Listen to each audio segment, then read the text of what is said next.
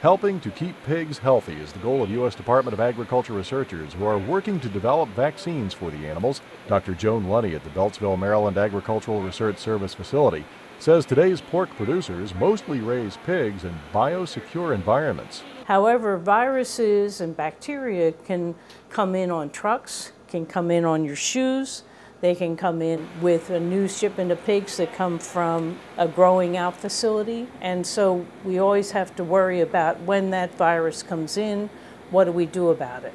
So, Lunney and her colleagues are looking to make pigs immune to diseases leading to healthier animals that can get to market sooner. To be able to design more effective vaccines, to identify pigs that are healthier, that respond to stress appropriately, that have a better well being to be able to know what their immune response is and to ask whether genetically some of them may be better responders to vaccines. We call them vaccine ready pigs.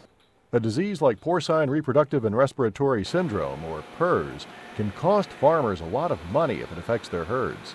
For breeders and producers, they well know that once you have a disease, many times you have production losses.